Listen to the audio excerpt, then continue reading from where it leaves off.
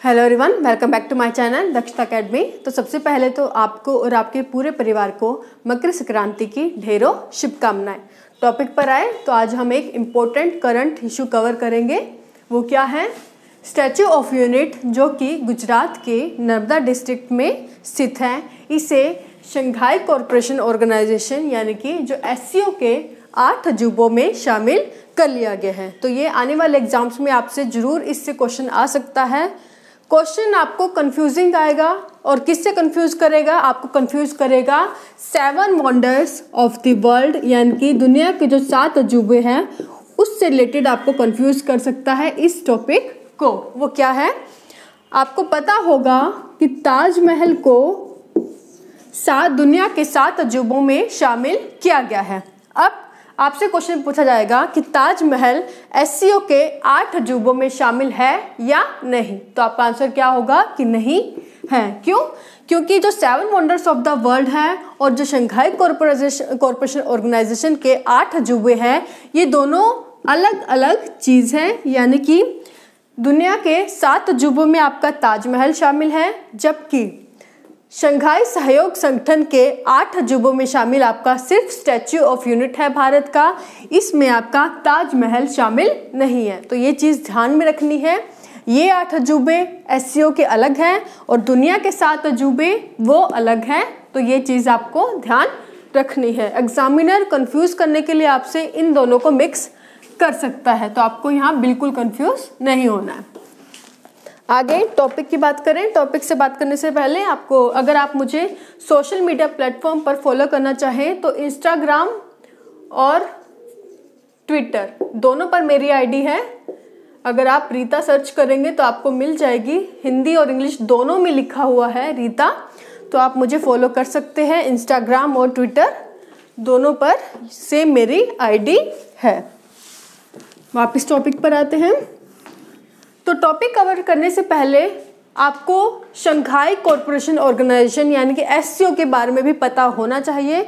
लेकिन इसके बारे में हम अलग वीडियो में पढ़ेंगे, जब हम इंटरनेशनल ऑर्गेनाइजेशन की जो सीरीज़ हमने स्टार्ट की थी, उसी में को कंटिन्यू करते हुए जो नेक्स्ट मेरी वीडियो कल आ जाएगी आपके पास तो उसमें हम एससीओ के बारे में भी ज़रूर देखेंगे, क्योंकि ये करंट इशू है तो एग्ज़ाम्स में आपका एससीओ के फ़ंक्शन के बारे में पूछा जा सकता है। इसकी स्थापना, उद्देश्य, सदस्यों के बारे में भी पूछा जा सकता है। तो इसके बारे में हम नेक्स्ट वीडियो में कवर करेंगे। अभी इसी से रिलेटेड हम पढ़ाई करेंगे स्टैचू ऑफ़ यूनिटी और आपको पता होगा, जो स्टैचू ऑफ़ यूनिटी है, वो किसका स्टैचू है? सरदार पटेल जी का स्टैचू है।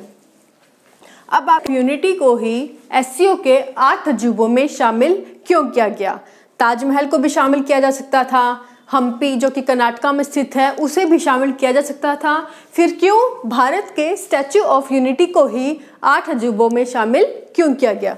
तो अगर आप न्यूज़ पढ़ते रहते हैं तो आपने हिंदुस्तान टाइम्स के सितंबर 2019 की न्यूज़ में देखा होगा कि स्टैचू ऑफ़ यूनिटी के अतिरिक्त तीन अन्य स्थलों को इसके लिए नॉमिनेट किया गया था। और वे कौन कौन से हैं? ताजमहल उसके बाद हम्पी, जो कि कहाँ स्थित है आपका? कर्नाटका में।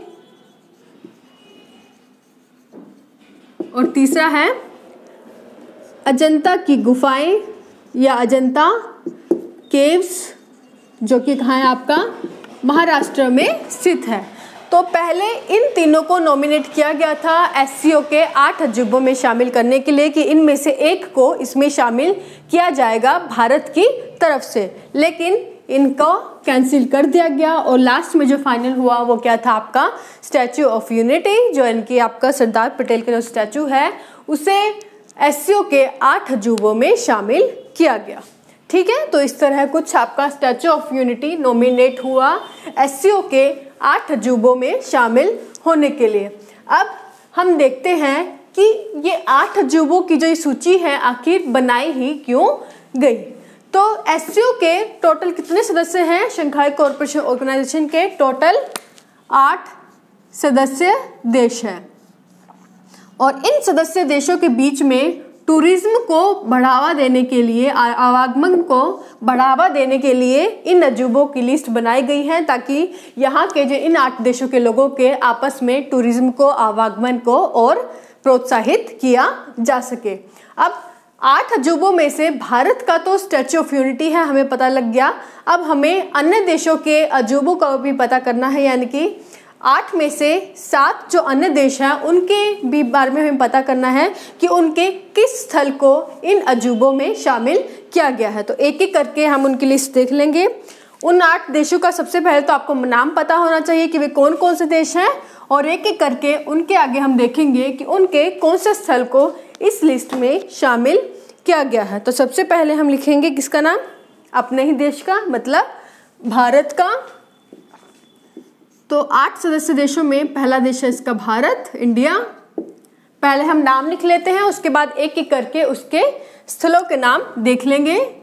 इंडिया, पाकिस्तान, चाइना, रशिया, रूस, उसके बाद उज्बेकिस्तान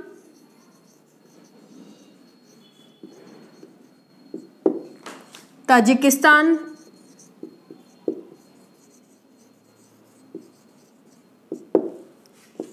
कजाकिस्तान।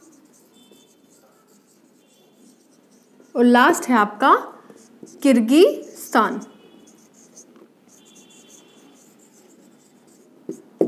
तो ये है आपकी तीन, चार, पाँच छः सात, आठ। तो ये आपके आठ सदस्य देश हैं, शंघाई कोऑपरेशन ऑर्गेनाइजेशन या शंघाई सहयोग संगठन के। अब इनके अलग अलग अजूबे जो शामिल किए गए हैं इस लिस्ट में, इंडिया का कौन है? भाई, अभी तो हम बात कर ही रहे हैं statue of unity statue of unity के बाद पाकिस्तान के हम बात करें तो पाकिस्तान का जो स्थल शामिल किया गया है तो वो है आपका द ग्रेट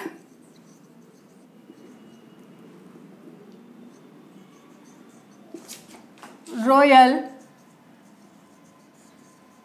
मुगल्स। तो पाकिस्तान की जो मुगलों की सांस्कृतिक धरोहर है, जो कि कहाँ है? पाकिस्तान के लाहौर में। उसे इस लिस्ट में शामिल किया गया है। तो पता होना चाहिए, मुगलों की सांस्कृतिक धरोहर जो कि पाकिस्तान के लाहौर में है, उसे भी शामिल किया गया है।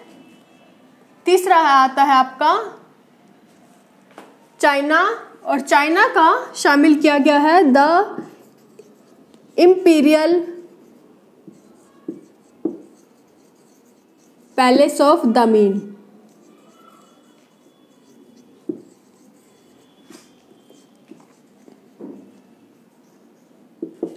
तो पाकिस्तान की सांस्कृतिक धरोहर जो लाहौर में है, उसे चाइना के द इम्पीरियल पैलेस ऑफ़ दमीन को इन आठ अजूबों में शामिल किया गया है। तीसरा है रशिया। रशिया के रिंग, द गोल्डन रिंग।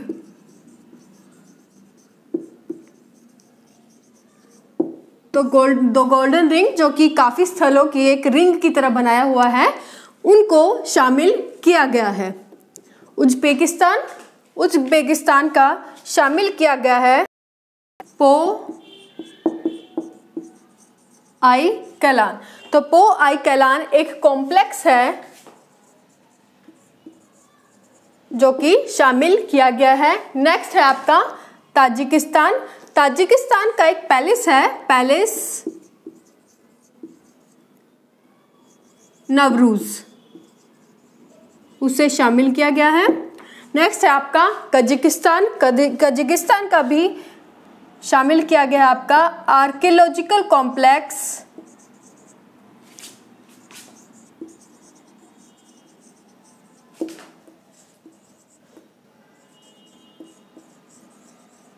तमगली तो इसे शामिल किया गया है कजाकिस्तान आर्कियोलॉजिकल कॉम्प्लेक्स तमगली। और लास्ट आपका बचा है किर्गिस्तान। और किर्गिस्तान की एक झील है, लेक।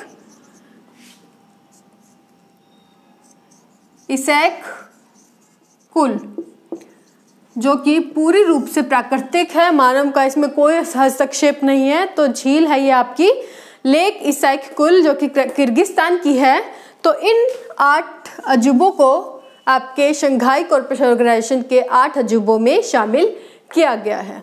तो ये था आपका आज का पूरा टॉपिक के बारे में। करंट इशू है, आपको पता होना चाहिए सबसे पहले तो कि स्टैचू ऑफ़ यूनिटी को इस लिस्ट में शामिल किया गया।